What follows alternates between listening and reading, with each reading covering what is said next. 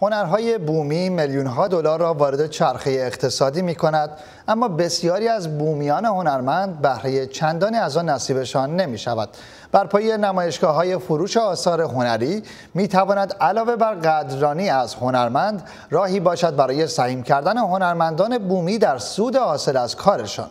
گزارش از گروزیتا ایران دوست اینان هنرمندان بومی ایندولکانا هستند. منطقه‌ای در فاصله 1200 کیلومتری آدلاید استرالیا که با قلم بر بوم زدن امرار معاش می کنند. نقاشی هایی که هر کدام داستانی را روایت می کند. به گفته یکی از هنرمندان کشیدن این نقاشی حدود دو هفته و نیم زمان برده است. اما چگونگی رساندن آثار هنری به خریداران خود چالشی است که بر پایه نمایشگاه های این چنینی می تواند یکی از راه حل های این مسئله باشد. نمایشگاهی که خریداران می توانستند آثار هنری عرضه شده را بدون واسطه از خود هنرمند خریداری کنند.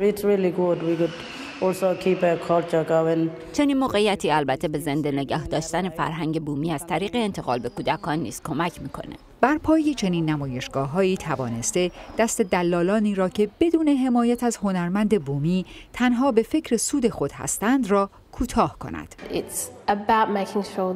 این نمایشگاه درباره کسب درآمد هنرمند از آثارشه و به همین دلیل تمرکز ما روی اینه که مردم بتونن زندگی و رشد کنن. موقعیتی با ارزش که علاوه بر قدردانی از زحمات هنرمند بومی و آیدی بیشتر برای خود هنرمند فرهنگ جوامع کوچکی همچون این دلکانا را نیز زنده نگه می دارد.